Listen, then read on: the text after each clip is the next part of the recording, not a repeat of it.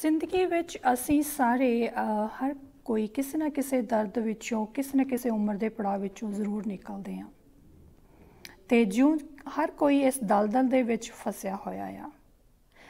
ਪਰ ਇਹ ਦਰਦ ਜਿੰਨਾ ਮਰਜ਼ੀ ਗਹਿਰਾ ਹੋਵੇ, ਇਹ ਚੀਜ਼ ਯਾਦ ਰੱਖਣੀ ਪਏਗੀ ਕਿ this is not the end ਇਹ ਜ਼ਿੰਦਗੀ ਦਾ ਕੋਈ ਲਾਸਟ ਚੈਪਟਰ ਨਹੀਂ ਹੈ। ਮੈਂ ਤੁਸੀਂ ਗੱਲ ਕੀ ਅੱਧੀ ਦੁਨੀਆ ਦੀ ਪੋਪੂਲੇਸ਼ਨ ਅੱਜ ਕੱਲ ਇਸ ਸਟ्रेस ਇਸ ਦਰਦ, ਇਸ ਐਂਜ਼ਾਇਟੀ ਇਸ ਡਿਪਰੈਸ਼ਨ ਦੇ ਵਿੱਚੋਂ ਲੰਘੀ ਹੋਈ ਹੈ।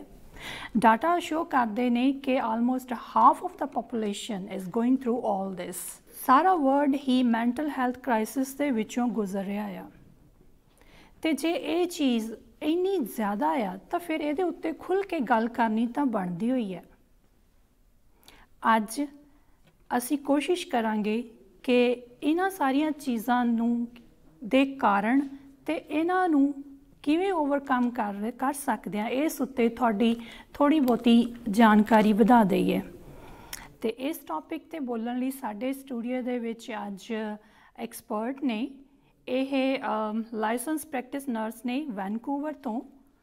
ਤੇ ਨਾਲ ਦੀ ਨਾਲ ਇਹ ਲਾਈਫ ਕੋਚ ਵੀ ਨੇ ਜਿਹੜੇ time to time depression anxiety anger management ਤੇ ਹੋਰ ਇਦਾਂ ਦੀਆਂ ਸੋਸ਼ਲ ਐਕਟੀਵਿਟੀਜ਼ ਨੂੰ ਲੈ ਕੇ ਸੋਸ਼ਲ ਮੀਡੀਆ ਤੇ ਟਾਈਮ ਟੂ ਟਾਈਮ ਆਪਣੀਆਂ ਪੋਸਟਿੰਗਸ ਪਾਉਂਦੇ ਰਹਿੰਦੇ ਨੇ ਤੇ ਕਾਫੀ ਫੇਮਸ ਵੀ ਨੇ। ਕਿਉਂਕਿ ਇਹ ਵੈਨਕੂਵਰ ਤੋਂ ਨੇ, ਇਸ ਲਈ ਅਸੀਂ ਅੱਜ ਉਹਨਾਂ ਨਾਲ ਵਰਚੁਅਲ ਹੀ ਮਿਲ ਸਕਦੇ ਹਾਂ। ਸੋ ਉਹਨਾਂ ਦਾ ਨਾਮ ਹੈ ਮੇਰੀ ਬਹੁਤ ਪਿਆਰੀ friend Malinder Kaur. Hello Malinder how are you Ravinder ਮੈਂ ਬਿਲਕੁਲ ਠੀਕ ਹਾਂ। ਤੁਸੀਂ ਦੱਸੋ ਤੁਸੀਂ ਕਿਵੇਂ ਆ? ਮੈਂ ਬਹੁਤ ਠੀਕ ਆ Malinder happy birthday thank you so much thank you ਸਾਰੇ ਵਸੰਚਾ ਪੰਜਾਬ ਚੈਨਲ ਤੋਂ ਅਸੀਂ ਤੁਹਾਨੂੰ ਜਨਮ ਦਿਨ ਦੀਆਂ ਹਾਰਦਿਕ ਸ਼ੁਭਕਾਮਨਾਵਾਂ ਦਿੰਦੇ ਹਾਂ ਤੇ ਹੋਪ ਕਰਦੇ ਹਾਂ ਕਿ ਤੁਹਾਡਾ ਦਿਨ ਬਹੁਤ ਵਧੀਆ ਗੁਜ਼ਰ ਰਿਹਾ ਹੋਵੇਗਾ ਤੇ ਤੁਸੀਂ ਸ਼ਰਾਧ ਦੀ ਪਾਰਟੀ ਦੀ ਪੂਰੀ ਤਿਆਰੀ ਕਰ ਚੁੱਕੇ ਹੋਵੋਗੇ। ਥੈਂਕ ਯੂ ਸੋ ਮਚ ਆ ਵੀ ਤੇ ਪਾਰਟੀ ਹੈ ਜਦੋਂ ਅਸੀਂ ਕੋਈ ਚੰਗੀ ਗੱਲ ਕਰਦੇ ਆ ਐਂਡ ਜਦੋਂ ਸਾਡੇ ਮਨ ਨੂੰ ਕੁਝ ਆਪਾਂ ਗੁੱਡ ਫੀਡ ਕਰਦੇ ਆ ਉਸ ਤੋਂ ਵੱਡੀ ਪਾਰਟੀ ਮੈਨੂੰ ਲੱਗਦਾ ਕੋਈ ਨਹੀਂ ਹੋ ਸਕਦੀ। ਯਾ ਦੈਟਸ ਗੁੱਡ ਠੀਕ ਹੈ।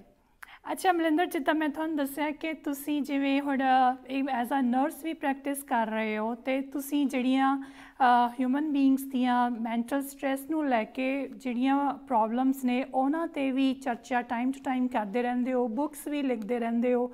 ਤੇ ਮੈਨੂੰ ਲੱਗਿਆ ਕਿ ਤੁਸੀਂ ਬਿਲਕੁਲ ਰਾਈਟ ਪਰਸਨ ਹੋ। ਇਹ ਚੈੱਕ ਕਰਨ ਲਈ ਕਿ ਅੱਜ ਕੱਲ ਸਾਡੇ ਕੰਟਰੀ ਦੇ ਵਿੱਚ ਜੋ ਵੀ ਹੋ ਰਿਹਾ ਆ ਰਾਈਟ ਸਪੈਸ਼ਲੀ ਆਪਾਂ ਕੈਨੇਡਾ ਦੀ ਗੱਲ ਹੀ ਕਰਾਂਗੇ ਕਿ ਇਹਦੇ ਵਿੱਚ ਲੋਕ ਇੰਨੇ ਜ਼ਿਆਦਾ ਸਟ्रेस ਦੇ ਵਿੱਚ ਅੱਜ ਕੱਲ ਕਿਉਂ ਨਹੀਂ ਤੇ ਪਰ ਸੈਕਿੰਡ ਮੈਂ ਇਹ ਵੀ ਜਾਨਣਾ ਚਾਹਾਂਗੀ ਕਿ ਕੀ ਕੋਈ ਪਾਰਟਿਕੂਲਰ ਏਜ ਗਰੁੱਪ ਵੀ ਹੈਗਾ ਆ ਜਿਹੜਾ ਇਸ ਪ੍ਰੋਬਲਮ ਤੋਂ ਸਫਰ ਕਰ ਰਿਹਾ ਆ? ਹਾਂਜੀ ਰਵਿੰਦਰ ਸਭ ਤੋਂ ਪਹਿਲਾਂ ਤੇ ਇਹ ਜਿਹੜੀ ਪ੍ਰੋਬਲਮ ਹੈ ਇਹ ਗਲੋਬਲ ਹੈ। ਇਸ ਇਹ ਸਿਰਫ ਕੈਨੇਡਾ ਜਾਂ ਇੰਡੀਆ ਜਾਂ ਅਮਰੀਕਾ ਦੇ ਤੱਕ ਹੀ ਸੀਮਿਤ ਨਹੀਂ ਆ।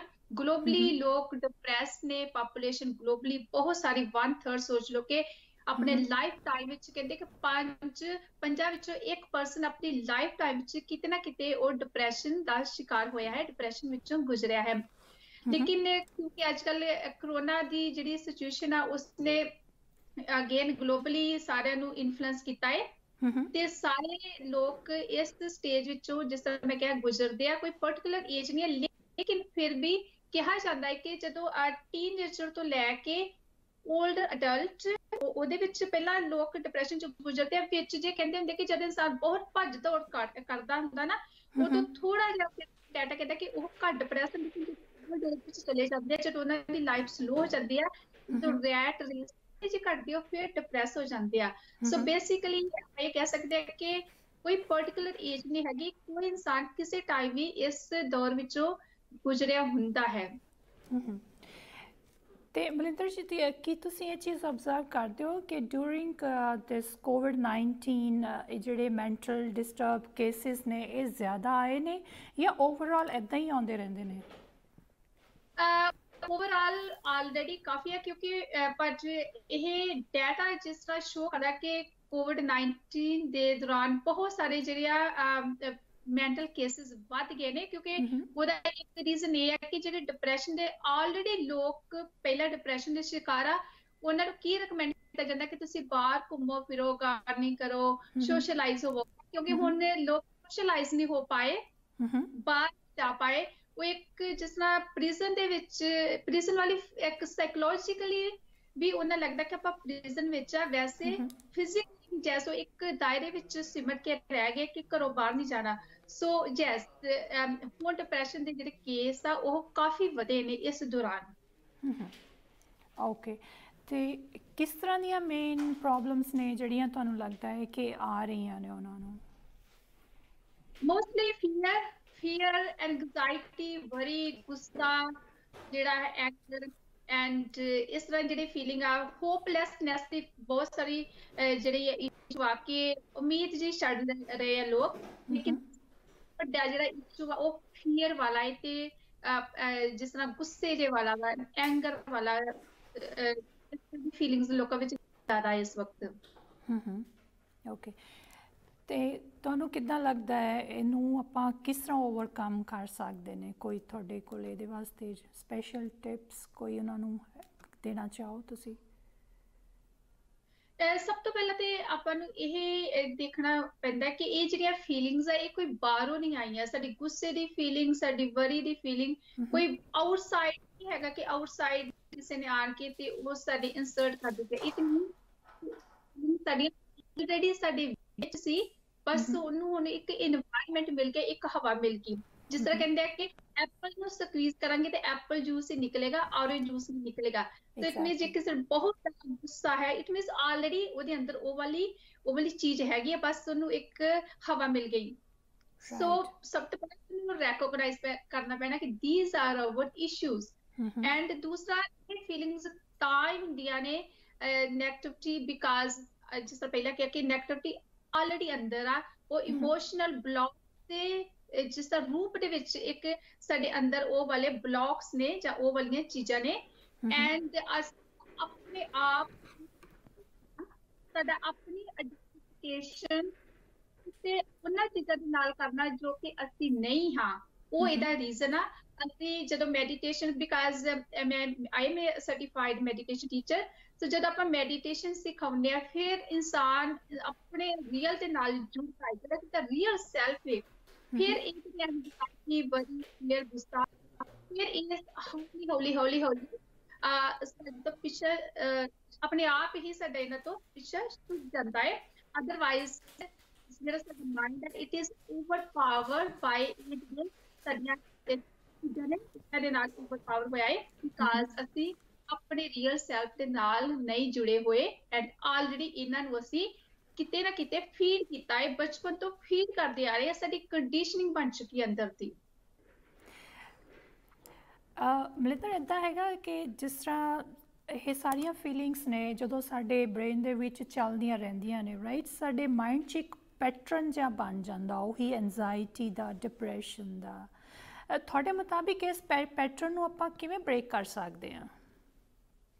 ਸਭ ਤੋਂ ਪਹਿਲਾਂ ਕਿਸੇ ਵੀ ਚੀਜ਼ ਨੂੰ ਜਿਹਨੂੰ ਅਸੀਂ ਸੋਲਵ ਕਰਨਾ ਚਾਹੁੰਦੇ ਆ ਉਹਨੂੰ ਅੰਡਰਸਟੈਂਡ ਕਰਨਾ ਬਹੁਤ ਜ਼ਰੂਰੀ ਹੈ। ਕਿਸੇ ਵੀ ਚੀਜ਼ ਨੂੰ ਅੰਡਰਸਟੈਂਡ ਕੀਤੇ ਬਿਨਾ ਅਸੀਂ ਉਹਨੂੰ ਸੋਲਵ ਕਰ ਹੀ ਨਹੀਂ ਸਕਦੇ ਚਾਹੇ ਉਹ ਫਿਜ਼ੀਕਲ ਡਿਜ਼ੀਜ਼ ਹੋ ਚਾਹੇ ਉਹ ਮੈਂਟਲ ਇਸ਼ੂ ਹੋਏ ਚਾਹੇ ਉਹ ਸਾਡੇ ਰਿਸ਼ਤਿਆਂ ਵਿੱਚ ਕੋਈ ਚੀਜ਼ ਹੋਵੇ। ਸੋ ਅਗੇਨ ਫਰਸਟ ਰੈਕੋਗਨਾਈਜ਼ ਕਿ ਇਹ ਕਿਉਂ ਹੈ? ਇਹ ਕਦੋਂ ਤੋਂ ਸ਼ੁਰੂ ਹੈ? ਕਿਉਂਕਿ ਸਾਡਾ ਜਿਹੜਾ ਘਰ ਦਾ এনवायरमेंट ਸਾਡਾ ਆਲਾ ਦਵਾਲਾ ਸਾਰਾ ਕੁਝ ਸਾਡੀ ਇੱਕ ਅੰਦਰ ਮੈਂਟਲ ਕੰਡੀਸ਼ਨਿੰਗ ਬਣਾ ਦਿੰਦਾ ਹੈ ਇੱਕ ਵਰਡ ਅੱਜ ਕੱਲ ਮੈਂ ਵੀ ਆਪਣੀ ਵੀਡੀਓ ਵਿੱਚ ਯੂਜ਼ ਕਰਦੀ ਐਫਰਮੇਸ਼ਨ ਐਫਰਮੇਸ਼ਨ ਮੀਨ ਕਿ ਆਪਣੇ ਜਿਹੜਾ ਸਬਕੌਂਸ਼ੀਅਸ ਮਾਈਂਡ ਹੈ ਆਪਣੇ ਮਾਈਂਡ ਨੂੰ ਕਿਹੋ ਜਿਹੇ ਸੰਦੇਸ਼ ਦੇ ਰਹੇ ਹੈ ਓਵਰ ਦਾ ਟਾਈਮ ਸੋ ਉਹ ਕੰਡੀਸ਼ਨਿੰਗ ਜਾਂਦੀ ਹੈ। And most of the time ਅਸੀਂ ਆਪਣੇ ਮਾਈਂਡ ਨੂੰ ਨੈਗੇਟਿਵ ਸੰਦੇਸ਼ ਦੇ ਰਹੇ ਹਾਂ। ਕਿਉਂਕਿ ਨੈਗੇਟਿਵ ਜਿਹੜਾ ਵਾ ਸਾਡਾ ਮਾਈਂਡ ਦਾ ਜਿਹੜਾ ਡਿਫਾਲਟ ਮੋਡ ਹੈ ਜਿਸ ਦਾ ਪਾਣੀ ਆਪਣੇ ਉੱਪਰ ਤੋਂ ਥੱਲੇ ਜਾਂਦਾ ਹੈ ਇਸੇ ਤਰ੍ਹਾਂ ਜਿਹੜੇ ਨੈਗੇਟਿਵ ਥਾਟਸ ਨੇ ਬਸ ਸ਼ੁਰੂ ਹੋ ਜਾਣ ਉਹਨਾਂ ਦੀ ਇੱਕ ਸੀਰੀ ਬਣਦੀ ਜਾਂਦੀ ਹੈ। ਸੋ ਫਰਸਟ ਰੈਕੋਗਨਾਈਜ਼ ਆਪਾਂ ਨੂੰ ਸਮਝਣਾ ਪਏਗਾ ਕਿਹੜੀ ਪ੍ਰੋਬਲਮ ਆ ਕਿੱਥੋਂ ਆਈ ਆ ਫਿਰ ਉਹਦੇ ਤੇ ਅਸੀਂ ਕਈ ਤਰੀਕੇ ਦੇ ਨਾਲ ਕੰਮ ਕਰ ਸਕਦੇ ਹਾਂ। ਐਫਰਮੇਸ਼ਨ ਜਿੱਥੇ ਆਪਾਂ ਨੈਗੇਟਿਵ ਅਨਕੌਂਸ਼ੀਅਸਲੀ ਦਿੰਦੇ ਰਹੇ ਹੁਣ ਅਸੀਂ ਪੋਜ਼ਿਟਿਵ ਐਫਰਮੇਸ਼ਨ ਕਸਟਮਰ ਦੇ ਸਕਦੇ ਹਾਂ ਕੌਨਸ਼ੀਅਸਲੀ ਦੇ ਸਕਦੇ ਹਾਂ ਐਂਡ ਐਫਰਮੇਸ਼ਨ ਰੀਅਲੀ ਕੰਮ ਕਰਦੀਆਂ ਨੇ ਇਹਦੇ ਦੋ ਰੂਲ ਆ ਰੈਪੀਟੀਸ਼ਨ ਐਂਡ ਬਲੀਫ ਸੋ ਜਿਸ ਤਰ੍ਹਾਂ ਮੈਨੂੰ WhatsApp ਤੇ ਮੈਸੇਜ ਆਇਆ ਕਿ ਫਿਊਚਰ ਦਾ ਬਹੁਤ ਫਿਕਰ ਆ ਲੋਕਾਂ ਨੂੰ ਫਿਊਚਰ ਦੀ ਇੰਨੀ ਵਰੀ ਆ। ਤੇ ਫਿਰ ਜਦ ਅਸੀਂ ਐਫਰਮੇਸ਼ਨ ਪਹਿਲਾਂ ਤੇ ਰੈਕੋਗਨਾਈਜ਼ ਕਰਾਂਗੇ ਕਿ ਫਿਊਚਰ ਦੀ ਕਿਸ ਚੀਜ਼ ਦੀ ਵਰੀ ਆ ਫਿਰ ਆਪਾਂ ਐਫਰਮੇਸ਼ਨ ਦੇਣਾ ਸ਼ੁਰੂ ਕਰਾਂਗੇ ਕਿ ਮੇਰਾ ਇਹ ਕੰਮ ਬਿਲਕੁਲ ਠੀਕ ਹੋ ਜਾਏਗਾ ਜਦੋਂ ਵੀ ਟਾਈਮ ਆਏਗਾ। ਕਿਉਂਕਿ ਜਿਹੜੇ ਲਫ਼ਜ਼ਾਂ ਵਿੱਚ ਇੰਨੀ ਕੁ ਤਾਕਤ ਹੁੰਦੀ ਹੈ ਨਾ ਕਿ ਅਸੀਂ ਉਹਨਾਂ ਨੂੰ ਅੰਡਰ ਐਸਟੀਮੇਟ ਕਰ ਦਿੰਦੇ ਆ ਫਾਰ ਐਗਜ਼ਾਮਪਲ ਐਡੀਸਨ ਜਿਹਨੂੰ ਸਕੂਲ ਦੇ ਟੀਚਰ ਨੇ ਰਿਜੈਕਟ ਕਰ ਦਿੱਤਾ ਸੀ ਉਹਦੀ ਮਦਰ ਨੇ ਹੀ ਉਹਨੂੰ ਇੰਨਾ ਇੰਸਪਾਇਰ ਕੀਤਾ ਕਿ ਉਹ ਇੱਕ ਵੱਡਾ ਸਾਇੰਟਿਸਟ ਬਣ ਗਿਆ। ਮਹਾਭਾਰਤ ਚ ਕਈ ਵਾਰ ਸੁਣਦੇ ਅਬ ਮੰਨੂ ਰਾਈਟ ਅਜੇ ਬੋਰਨ ਵੀ ਨਹੀਂ ਹੋਇਆ ਲੇਕਿਨ ਸ਼ਬਦਾਂ ਨਹੀਂ ਉਸਦੇ ਮਾਈਂਡ ਨੂੰ ਇੰਨਾ ਇੰਟੈਲੀਜੈਂਟ ਕਰ ਦਿੱਤਾ ਕਿ ਉਸਨੇ ਉਹ ਚੱਕਰ ਨੂੰ ਤੋੜ ਦਿੱਤਾ। ਸੋ ਆਪਣੇ ਵਰਡਸ ਤੇ ਕੰਮ ਕਰਨਾ ਪਏਗਾ। ਉਹਦੇ ਨਾਲ ਫਿਰ ਮਾਈਂਡ ਚੇਂਜ ਹੋਣਾ ਸ਼ੁਰੂ ਹੋ ਜਾਏਗਾ। ਐਂਡ ਮੈਡੀਟੇਸ਼ਨ ਸੈਲਫ ਰਿਅਲਾਈਜੇਸ਼ਨ ਸਾਡੀਆਂ ਮੈਂਟਲ ਐਕਸਰਸਾਈਜ਼ਸ ਯੋਗਾ ਇਹ ਇਹ ਸਾਰੇ ਨਾਲ ਨਾਲ ਕੰਬਾਈਨਡਲੀ ਵਰਕ ਕਰਦੇ ਆ। ਰਾਈਟ ਓਕੇ ਤੇ ਬਲਿੰਦਰ ਜੀ ਅੱਜਕੱਲ ਇੱਕ ਨਵਾਂ ਵਰਡ ਬੜਾ ਸੁਣਨ ਨੂੰ ਮਿਲਦਾ ਆ ਇਮੋਸ਼ਨਲੀ ਬਲੌਕੇਜ ਇਹ ਕੀ ਚੀਜ਼ ਹੁੰਦੀ ਆ? ਤੇ ਇਹ ਕਿਵੇਂ ਮੈਂਟਲ ਹੈਲਥ ਦੇ ਵਿੱਚ ਪ੍ਰੋਬਲਮਸ ਕ੍ਰੀਏਟ ਕਰਦਾ? ਇਮੋਸ਼ਨਲ ਇਮੋਸ਼ਨਲ ਬਲੌਕਸ ਜਿਹੜੇ ਆ ਅੱਜ ਕੱਲ ਇਸ ਟਰਮ ਨੂੰ ਰੈਕੋਗਨਾਈਜ਼ ਕੀਤਾ ਜਾ ਰਿਹਾ ਹੈ। ਪਹਿਲਾਂ ਕਾਫੀ ਸਾਲ ਪਹਿਲਾਂ ਆਪਾਂ ਸੁਣਦੇ ਹੁੰਦੇ ਸੀ ਇੰਟੈਲੀਜੈਂਟ ਕੋਸ਼ੈਂਟ ਫਿਰ ਇਹਦਾ ਮਤਲਬ ਕੋਈ ਇਨਸਾਨ ਕਿੰਨਾ ਇੰਟੈਲੀਜੈਂਟ ਹੈ? ਅੱਜ ਕੱਲ ਆ ਰਿਹਾ ਹੈ ਕਿ ਕੋਈ ਕਿੰਨਾ ਇਮੋਸ਼ਨਲੀ ਕਿੰਨਾ ਸਟਰੋਂਗ ਆ। ਅਸੀਂ ਕਿੰਨੇ ਵੀ ਇੰਟੈਲੀਜੈਂਟ ਹੋਈਏ ਅਸੀਂ ਜੇ ਇਮੋਸ਼ਨਲੀ ਵੀਕ ਆ ਇਮੋਸ਼ਨਲੀ ਸਟਰੋਂਗ ਨਹੀਂ ਆ ਅਸੀਂ ਕਿਸੇ ਵੀ ਫੀਲਡ ਵਿੱਚ ਜੋ ਹੈ ਸਕਸੈਸਫੁਲ ਨਹੀਂ ਹੋ ਸਕਦੇ। ਕਿਤੇ ਨਾ ਕਿਤੇ ਸਾਨੂੰ ਜੋ ਅਗੇਨ ਮੈਂਟਲ ਇਸ਼ੂਜ਼ ਆਉਣੇ ਸ਼ੁਰੂ ਹੋ ਜਾਣਗੇ ਬਿਹੇਵੀਅਰ ਇਸ਼ੂਜ਼ ਆਉਣੇ ਸ਼ੁਰੂ ਹੋ ਜਾਣਗੇ ਐਂਡ ਇੱਕ ਸਟੇਜ ਤੋਂ ਬਾਅਦ ਸਾਨੂੰ ਫਿਜ਼ੀਕਲ ਡਿਜ਼ੀਜ਼ਸ ਵੀ ਲੱਗ ਸਕਣਗੀਆਂ ਜੇ ਸਾਡੇ ਇਮੋਸ਼ਨਲ ਬਲੌਕਸ ਨੂੰ ਅਸੀਂ ਐਡਰੈਸ ਨਹੀਂ ਕੀਤਾ। ਸੋ ਇਮੋਸ਼ਨਲ ਬਲੌਕਸ ਕੀ ਹੁੰਦੇ ਜਿਸ ਤਰ੍ਹਾਂ ਸਾਡੀ ਸਾਰਿਆਂ ਦੀ ਕੰਡੀਸ਼ਨਿੰਗ ਦੀ ਗੱਲ ਕੀਤੀ ਬਚਪਨ ਤੋਂ ਲੈ ਕੇ ਸਾਡੇ ਜਨਮ ਤੋਂ ਲੈ ਕੇ ਜੋ ਵੀ ਇਸ ਵਕਤ ਸਾਡੀ ਏਜ ਆ ਬਹੁਤ ਸਾਰੀਆਂ ਚੀਜ਼ਾਂ ਸਾਡੇ ਨਾਲ ਹੈਪਨ ਹੁੰਦੀਆਂ ਨੇ ਅਪਸ ਡਾਊਨ ਕਿਸੇ ਨੀਅਰ ਐਂਡ ਡੀਅਰ ਦੀ ਡੈਥ ਹੋ ਜਾਂਦੀ ਹੈ ਕੋਈ ਸਾਡਾ ਬ੍ਰੇਕ ਅਪ ਹੋ ਜਾਂਦਾ ਹੈ ਕੋਈ ਫਾਈਨੈਂਸ਼ੀਅਲ ਲਾਸ ਹੋ ਜਾਂਦਾ ਹੈ ਮੈਨੀ ਮੈਨੀ ਮੋਰ ਥਿੰਗਸ ਪਰ ਮੋਸਟਲੀ ਸੰਡੇ ਅੰਦਰ ਇੰਨੀ ਜੇ ਅਸੀਂ ਚੀਜ਼ਾਂ ਨੂੰ ਅੰਡਰਸਟੈਂਡ ਕਰਦੇ ਹਾਂ ਕਿ ਨਥਿੰਗ ਇਜ਼ ਫੋਰਐਵਰ ਅਸੀਂ ਉਹ ਚੀਜ਼ਾਂ ਨੂੰ ਥੋੜਾ ਇੱਕ ਟਾਈਮ ਬੀਇੰਗ ਲਈ ਅਫੈਕਟ ਹੁੰਨੇ ਆ ਲੇਕਿਨ ਲੈਟ ਗੋ ਜੇ ਸਾਡੇ ਸਾਡੇ ਅੰਦਰ ਲੈਟ ਗੋ ਕਰਨ ਦੀ ਸ਼ਕਤੀ ਹੈਗੀ ਆ ਤਾਂ ਅਸੀਂ ਫਿਰ ਬੈਕ ਟੂ ਨਾਰਮਲ ਆ ਜਾਂਦੇ ਆ। ਪਰ ਕੁਝ ਲੋਕ ਕੀ ਹੁੰਦੇ ਨੇ ਕਿ ਉਹ ਚੀਜ਼ਾਂ ਨੂੰ ਲੈਟ ਗੋ ਨਹੀਂ ਕਰ ਸਕਦੇ। ਮੰਨ ਲਓ ਉਹਨਾਂ ਦਾ ਕੋਈ ਫੈਮਿਲੀ ਮੈਂਬਰ ਇਸ ਦੁਨੀਆ ਤੋਂ ਚਲਾ ਗਿਆ। ਫੈਮਿਲੀ ਮੈਂਬਰ ਚਲਾ ਗਿਆ ਦੁਨੀਆ ਤੋਂ ਲੇਕਿਨ ਉਹ ਚੀਜ਼ ਉਹਨੇ ਇੰਨੀ ਘਰ ਕਰ ਗਈ ਉਹਨਾਂ ਦੇ ਅੰਦਰ ਕਿ ਉਹ ਅੰਦਰ ਇੱਕ એનર્ਜੀ ਬਲੌਕ ਬਣ ਗਿਆ। ਸਾਡੇ ਅੰਦਰ ਇੱਕ એનર્ਜੀ ਆ। ਸ਼ਾਇਦ ਤੁਸੀਂ ਵੀ ਸੁਣਿਆਗਾ ਬਹੁਤ ਪਪੂਲਰ ਹੈ ਸੈਵਨ ਚੱਕਰਾ। ਸਾਡੇ ਸਪਾਈਨਲ ਦੇ ਨਾਲ એનર્ਜੀ ਮੂਵ ਹੁੰਦੀ ਹੈ ਉੱਥੋਂ ਨੀਚੇ ਤੋਂ। ਉਹ ਸਾਰੇ ਚੱਕਰਾ ਸਾਡੇ ਇਮੋਸ਼ਨਸ ਕਿਸੇ ਨਾ ਕਿਸੇ ਚੀਜ਼ ਨੂੰ ਰਿਪਰੈਜ਼ੈਂਟ ਕਰਦੇ ਆ। ਸੋ ਕੋਈ ਚੀਜ਼ ਜਦੋਂ ਕਿ ਨੂੰ ਲੈਟ ਗੋ ਨਹੀਂ ਕਰ ਸਕਦੇ ਜਾਂ ਬਹੁਤ ਸਾਰੇ ਲੋਕ ਕਹਿਣਾ ਚਾਹੁੰਦੇ ਆ ਲੇਕਿਨ ਐਕਸਪ੍ਰੈਸ ਨਹੀਂ ਕਰ ਸਕਦੇ।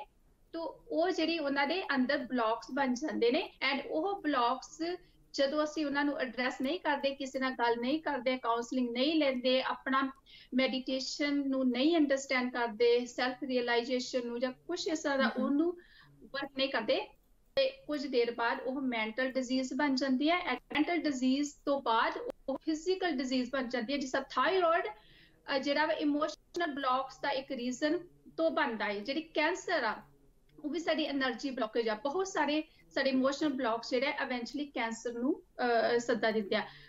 Many many problems, blood pressure all this somehow these are consequences of emotional blocks. Oh oh. ਅੱਛਾ ਮਲਿੰਦਰ ਤੁਸੀਂ ਮੈਨੂੰ ਇਹ ਦੱਸੋ ਕਿ ਜਿਹੜੇ ਇਹ ਇਮੋਸ਼ਨਲ ਬਲੌਕਸ ਨੇ ਜਾਂ ਆਪਾਂ ਜਿਹੜੀ ਪਹਿਲਾਂ ਵੀ ਮੈਂਟਲ ਹੈਲਥ ਦੀ ਗੱਲ ਕੀਤੀ, ਇਹਨਾਂ ਨੂੰ ਓਵਰਕਮ ਕਰਨ ਲਈ ਮੈਡੀਟੇਸ਼ਨ ਹੀ ਇੱਕ ਜ਼ਰੂਰੀ ਹੈ ਤੇ ਸੈਕੰਡਲੀ ਕੀ ਮੈਡੀਟੇਸ਼ਨ ਹੈ ਜਿਹੜਾ ਉਹ ਆਪਣੀ ਜਿਹੜੀ ਜ਼ਿੰਦਗੀ ਜਿਉਣ ਦੀ ਚਾਹ ਹੁੰਦੀ ਹੈ ਇੱਕ ਉਹਨੂੰ ਵੀ ਇਫੈਕਟ ਕਰਦਾ?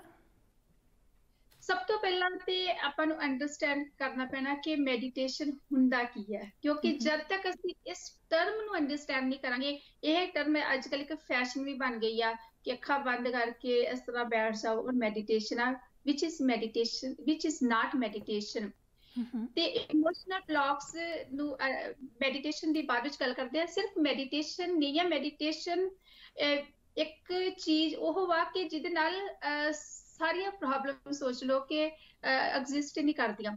ਪਰ। ਪਹਿਲੇ ਲੈਵਲ ਤੇ ਕਿਸੇ ਦੇ ਨਾਲ ਗੱਲ ਕਰ ਸਕਦੇ ਆ ਆਪਣੇ ਕਾਉਂਸਲਿੰਗ ਲੈ ਸਕਦੇ ਆ ਕਿਸੇ ਜਿਹੜਾ ਕੋਈ ਸਾਡਾ ਨੀਅਰ ਡੀਅਰ ਜਿਹਦੇ ਸਾਨੂੰ ਵਿਸ਼ਵਾਸ ਆ ਉਹਦੇ ਨਾਲ ਸ਼ੇਅਰ ਕਰ ਸਕਦੇ ਆ ਅਸੀਂ ਆਪ ਲਿਖ ਸਕਦੇ ਆ ਜਦੋਂ ਅਸੀਂ ਆਪ ਲਿਖ ਕੇ ਚਾਹੇ ਉਸ ਕਾਗਜ਼ ਨੂੰ ਤੁਸੀਂ ਬਾਅਦ ਵਿੱਚ ਡਿਸਟਰੋਏ ਕਰ ਦਿਓ but you have to let it go ਤੁਸੀਂ. ਆਪਣੀ ਕੋਈ ਹੌਬੀ ਕ੍ਰੀਏਟ ਕਰੋ ਕਿਉਂਕਿ ਜਦੋਂ ਵੀ ਅਸੀਂ ਕੋਈ ਹੌਬੀ ਕ੍ਰੀਏਟ ਕਰਦੇ ਆ ਅਸੀਂ ਆਪਣੇ ਅੰਦਰ ਨੂੰ ਐਕਸਪ੍ਰੈਸ ਕਰਦੇ ਆ ਸੋ ਬਹੁਤ ਸਾਰੇ ਹੋਰ ਤਰੀਕੇ ਨੇ ਇਹ ਛੋਟੇ ਲੈਵਲ ਤੇ ਜਿਨ੍ਹਾਂ ਦੇ ਨਾਲ ਅਸੀਂ ਆਪਣੀ ਇਮੋਸ਼ਨਲ ਬਲੌਕਸ ਨੂੰ ਐਡਰੈਸ ਕਰ ਸਕਦੇ ਆ ਹਮ ਲੇਕਿਨ ਗੱਲ ਕੀ ਮੈਡੀਟੇਸ਼ਨ ਦੀ ਕਿ ਮੈਡੀਟੇਸ਼ਨ ਨੂੰ ਜਦੋਂ ਅਸੀਂ ਅੰਡਰਸਟੈਂਡ ਕਰ ਲਵਾਂਗੇ ਨਾ ਤਾਂ ਕੋਈ ਇਮੋਸ਼ਨਲ ਬਲੌਕਸ ਰਹਿਣਗੇ ਤੇ। ਨਾ ਹੀ ਕੁਝ ਜਿਹੜੀਆਂ ਸਾਡੀਆਂ ਐਂਗਜ਼ਾਇਟੀ ਆ ਫੀਅਰ ਆ ਇਹ ਚੀਜ਼ਾਂ ਰਹਿਣਗੀਆਂ ਹਮ ਸੋ ਮੈਡੀਟੇਸ਼ਨ ਕੀ ਚੀਜ਼ ਆ ਮੈਡੀਟੇਸ਼ਨ ਬੀਇੰਗ ਵਿੱਚ ਰਹਿਣਾ ਵਾ ਜੋ ਮੈਂ ਹਾਂ ਅਸਲੀ ਮੈਂ ਹਾਂ ਥੋੜਾ ਮੇਰੇ ਸਿੰਪਲ ਲੈਂਗੁਏਜ ਚ ਸਮਝਾਉਣ ਦੀ ਕੋਸ਼ਿਸ਼ ਕਰੀ ਹੈ ਕਿ ਸਾਡੇ ਅੰਦਰ ਇਸ ਵਕਤ ਮੈਂ ਤੁਹਾਡੇ ਨਾਲ ਗੱਲ ਕਰ ਰਹੀ ਹਾਂ ਮੇਰਾ ਕੌਨਸ਼ੀਅਸ ਮਾਈਂਡ ਚੱਲ ਰਿਹਾ ਹੈ ਕਿ ਮੈਂ। ਤੁਹਾਡੇ ਨਾਲ ਗੱਲ ਕਰ ਰਹੀ ਹਾਂ ਮੈਂ ਤੁਹਾਨੂੰ ਕੌਨਸ਼ੀਅਸ ਹੋ ਕੇ ਬੋਲ ਰਹੀ ਹਾਂ ਸੋਚ ਸਮਝ ਕੇ ਬੋਲ ਰਹੀ ਹਾਂ ਕਿ ਇਸ ਚੀਜ਼ ਦਾ ਕੀ ਆਨਸਰ ਦੇਣਾ ਹੈ ਪਰ। ਅੰਦਰ ਮੇਰਾ ਜਿਹੜਾ ਹਾਰਟ ਜਿਹੜੀ ਹਾਰਟ ਆਪਣੇ ਆਪ ਚੱਲ ਰਿਹਾ ਹੈ ਮੇਰੇ ਅੰਦਰ ਸਾਡਾ ਉਹ ਆਪਣੇ ਆਪ ਚੱਲ ਰਿਹਾ ਹੈ। ਬ੍ਰੇਕਫਾਸਟ ਕੀਤਾ ਹੀ ਆਪਣੇ ਆਪ ਮੇਰਾ ਉਹ ਫੂਡ ਮੇਰੇ ਬਲੱਡ ਵਿੱਚ ਕਨਵਰਟ ਹੋ ਰਿਹਾ ਹੈ ਕਿਡਨੀਜ਼ ਆਪਣੇ ਆਪ ਕੰਮ ਕਰ ਰਹੀਆਂ ਨੇ। ਸੋ ਅੰਦਰ ਆਪਣੇ ਆਪ ਇੱਕ ਸਿਸਟਮ ਕੰਮ ਕਰ ਰਿਹਾ ਹੈ ਯੂਨੀਵਰਸਲ ਐਂਡ ਉਸ ਚੀਜ਼ ਨੂੰ ਜਿਹੜਾ ਵਾ ਰੈਕੋਗਨਾਈਜ਼ ਕਰ ਲੈਣਾ ਉਸ ਚੀਜ਼ ਦੇ ਨਾਲ ਕਨੈਕਟ ਹੋ ਜਾਣਾ ਉਹ ਮੈਡੀਟੇਸ਼ਨ ਨੂੰ ਸਮਝ ਲੈਣਾ ਹੈ ਕਿ ਇੱਕ ਅਜਿਹੀ ਇਨਵਿਜ਼ੀਬਲ ਪਾਵਰ ਆ ਜੋ ਕਿ ਮੈਂ ਉਹਦਾ ਹੀ ਪਾਰਟ ਹਾਂ ਜਿਸ ਤਰ੍ਹਾਂ ਸਮੁੰਦਰ ਦਾ ਇੱਕ ਬੂੰਦ ਉਹਦਾ ਹੀ ਪਾਰਟ ਹੈ। ਸੋ ਉਸ ਚੀਜ਼ ਨੂੰ ਸਮਝ ਲੈਣਾ ਉਸ ਚੀਜ਼ ਵਿੱਚ ਰਹਿਣਾ ਸ਼ੁਰੂ ਕਰ ਦੇਣਾ ਆਪਣੀ ਬੀਇੰਗ ਵਿੱਚ ਰਹਿਣਾ ਮੈਡੀਟੇਸ਼ਨ ਹੈ। ਸੋ ਜਦੋਂ ਅਸੀਂ ਇਸ ਚੀਜ਼ ਨੂੰ ਸਮਝ ਲਵਾਂਗੇ ਕਿ ਆਈ ਐਮ ਨਾਟ ਦਿਸ ਬੋਡੀ ਮੈਂ ਮੈਂ ਤਾਂ ਨਾ ਇਹ ਬੋਡੀ ਨਹੀਂ ਹਾਂ I am more than this body ਫਿਰ ਆਹ ਜਿਹੜਾ ਸਾਡਾ ਫੀਅਰ ਐਂਡ ਐਂਗਜ਼ਾਇਟੀ ਆ ਇਹ ਹੌਲੀ ਹੌਲੀ ਆਪਣੇ ਆਪ ਡਿਸਪੀਅਰ ਹੋ ਜਾਣਗੇ। ਸਾਨੂੰ fear and anxiety emotion blocks ਤਾਂ ਹੁੰਦੇ ਨੇ ਕਿਉਂਕਿ ਅਸੀਂ ਆਪਣੀ ਬਾਡੀ ਨੂੰ ਹੀ ਆਪ ਮੰਨ ਮੰਨ ਬੈਠੇ ਹਾਂ। ਮੈਂ ਆਪਣੇ ਆਪ ਨੂੰ ਆਪਣੀ ਇਸ ਇਸ ਬਾਡੀ ਦੇ ਨਾਲ ਰੈਕੋਗਨਾਈਜ਼ ਕਰ ਬੈਠੀ ਹਾਂ। ਇਸ ਲਈ ਸਾਨੂੰ ਹਮੇਸ਼ਾ ਸਾਨੂੰ ਡਰ ਲੱਗਦਾ ਰਹਿੰਦਾ ਹੈ ਕਿ ਇਸ ਬਾਡੀ ਨੂੰ ਇਹ ਬਾਡੀ ਸਿੱਕ ਨਾ ਹੋ ਜਾਏ ਇਹ ਬਾਡੀ ਟਾਇਰਡ ਨਾ ਹੋ ਜਾਏ। ਪਰ ਜਦੋਂ ਅਸੀਂ ਇਸ ਚੀਜ਼ ਨੂੰ ਅੰਡਰਸਟੈਂਡ ਕਰ ਲਾਂਗੇ ਕਿ ਮੈਂ ਬਾਡੀ ਤੋਂ ਉੱਪਰ ਕੁਝ ਹੈ ਮੈਂ ਉਹ ਹਾਂ। ਐਂਡ ਉਸ ਚੀਜ਼ ਨੂੰ ਰੈਕੋਗਨਾਈਜ਼ ਕਰਨ ਲਈ ਅਗੇਨ ਹਰ ਚੀਜ਼ ਦੇ ਸਟੈਪ ਹੁੰਦੇ ਨੇ। ਜਿਸ ਤਰ੍ਹਾਂ ਬਚਪਨ ਤੋਂ ਹਰ ਚੀਜ਼ ਆਪਾਂ ਸਿੱਖਦੇ ਆ ਤੁਰਨਾ ਸਿੱਖਦੇ ਆ ਖਾਣਾ ਸਿੱਖਦੇ ਆ ਇਸ ਤਰ੍ਹਾਂ। ਇਸ ਚੀਜ਼ ਨੂੰ ਜਦੋਂ ਹੈ ਇਸ ਏਜ ਵਿੱਚ ਆਪਾਂ ਜੇ ਨਹੀਂ ਹੁਣ ਤੱਕ ਸਿੱਖਿਆ ਤੇ ਇਸ ਚੀਜ਼ ਨੂੰ ਅੰਡਰਸਟੈਂਡ ਕਰਨ ਦੇ ਕੁਝ ਤਰੀਕੇ ਨੇ ਕੁਝ ਵਿਧੀ ਹੁੰਦੀ ਆ। ਗੁਰਬਾਣੀ 'ਚ ਇੱਕ ਵਰਡ ਆਉਂਦਾ ਹੈ ਜੁਗਤ। ਉਸ ਜੁਗਤੀ ਨੂੰ ਸਿੱਖਣਾ ਪੈਂਦਾ ਜਦੋਂ ਅਸੀਂ ਇਸ ਜੁਗਤੀ ਨੂੰ ਅੰਡਰਸਟੈਂਡ ਕਰ ਲਾਂਗੇ ਸਿੱਖ ਲਵਾਂਗੇ ਫਿਰ ਅਸੀਂ ਫਿਰ ਅਸੀਂ ਅੰਡਰਸਟੈਂਡ ਕਰਾਂਗੇ ਮੈਡੀਟੇਸ਼ਨ ਕੀ ਹੁੰਦੀ ਹੈ। ਅਦਰਵਾਈਜ਼ ਆਪਾਂ ਕਈ ਕਈ ਘੰਟੇ ਬੈਠੇ ਰਹੀਏ ਅੱਖਾਂ ਬੰਦ ਕਰਕੇ honestly that is not meditation. Relaxation ਹੋ ਸਕਦਾ ਹੈ ਹਾਂ but ਉਹ ਇੱਕ ਟੈਂਪਰੇਰੀ ਹੈ। ਤੇ ਇੱਕ ਇਹਦੇ ਵਿੱਚ ਉਹ ਤਾਂ ਹੋ ਗਈ ਮੈਂਟਲੀ ਕੁਝ ਬਰੀਥਿੰਗ ਮੈਡੀਟੇਸ਼ਨ ਵੀ ਹੁੰਦੀ ਆ ਲਾਈਕ ਆਪਣੇ ਬਰੀਥ ਨੇ ਜਿਹੜੇ ਆ ਰਹੇ ਨੇ ਜਾ ਰਹੇ ਨੇ।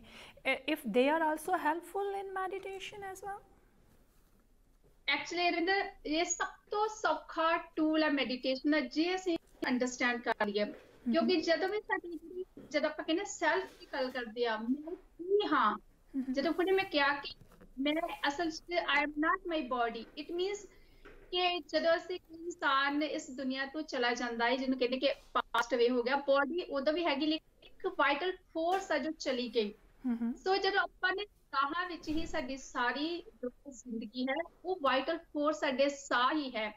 ਜੋ ਬਾਅਦ ਵਿੱਚ ਬਾਹਰ ਗਿਆ ਤੇ ਅੰਦਰ ਆਉਣਾ ਜ਼ਰੂਰੀ ਹੁੰਦਾ ਹੈ। ਜੇ ਬਾਹਰ ਗਿਆ ਤੇ ਅੰਦਰ ਨਹੀਂ ਆਇਆ ਇਟ ਮੀਨਸ ਕਿ ਸਮਥਿੰਗ ਕੁਝ ਚਲਾ ਗਿਆ ਜੋ ਕਿ। ਮੈਂ ਹਾਂ। ਸਭ ਤੋਂ ਆਸਾਨ ਤੇ ਇੱਕ ਡੀਪ ਚੀਜ਼ ਆ ਸਾਹਾਂ ਨੂੰ ਸਮਝ ਲੈਣਾ। ਇਹਨਾਂ ਨੂੰ ਸਮਝਣਾ ਇੰਨਾ ਸੌਖਾ ਨਹੀਂ ਹੈਗਾ ਲੇਕਿਨ ਇਹਨਾਂ ਨੂੰ ਸਮਝਣਾ ਮੁਸ਼ਕਲ ਵੀ ਨਹੀਂ ਹੈਗਾ। ਆਪਣੇ ਸਾਹਾਂ ਦੀ ਮਿਸਟਰੀ ਨੂੰ ਇਹਨਾਂ ਨੂੰ ਸਮਝੀਏ ਅਸੀਂ ਬਹੁਤ ਜਿਹੜਾ ਆਪਣੇ ਟਾਈਮ ਮੈਡੀਟੇਟਿਵ ਸਟੇਟ ਵਿੱਚ ਰਹਿ ਸਕਦੇ। ਹੁੰਦਾ. ਕੀ ਹੈ ਮੈਂ ਰੀਅਲ ਐਗਜ਼ਾਮਪਲ ਦਿੰਦੀ ਹਾਂ ਕਿ ਜੇ ਅਸੀਂ ਆਪਣੀ ਲਾਈਫ ਵੱਲ ਦੇਖੀਏ ਤੇ ਕਈ ਵਾਰ ਜਦੋਂ ਸਾਨੂੰ ਗੁੱਸਾ ਆਉਂਦਾ ਹੈ ਜਾਂ ਉਦੋਂ ਅਸੀਂ ਆਪਣੇ ਸਾਹਾਂ ਨੂੰ ਅਬਜ਼ਰਵ ਕਰੀਏ ਤੇ ਸਾਡੇ ਸਾਹ ਬਹੁਤ ਤੇਜ਼ ਤੇਜ਼ ਤੇਜ਼ ਚੱਲਦੇ ਨੇ। ਬਹੁਤ ਖੁਸ਼ ਹੁੰਨੇ ਆ ਉਹਦਾ ਆਪਣੇ ਸਾਹਾਂ ਨੂੰ ਵੇਖੀਏ ਸਾਡੇ ਸਾਹ ਹੌਲੀ ਹੋ ਜਾਂਦੇ ਨੇ। ਜਦੋਂ ਅਸੀਂ ਕੋਈ ਨਾਮ ਸਿਮਰਨ ਮੈਡੀਟੇਸ਼ਨ ਚ ਹੁੰਨੇ ਆ ਸ਼ਬਦ ਸੁਣ ਰਹੇ ਨੇ ਉਦੋਂ ਦੇਖਣਾ ਕਦੀ ਨੋਟ ਕਰਨਾ ਅਸੀਂ ਮੋਸਟਲੀ ਕਰਦੇ ਨਹੀਂ ਆ ਸਾਡੇ ਸਾਹਾਂ ਦੀ ਗਿਣਤੀ ਬਹੁਤ ਘਟ ਜਾਂਦੀ ਆ। ਸੋ ਇਹ ਮਾਈਂਡ ਸਟੇਟ ਨਾਲ ਸਾਡੇ ਸਾਹ ਬਦਲਦੇ ਨੇ।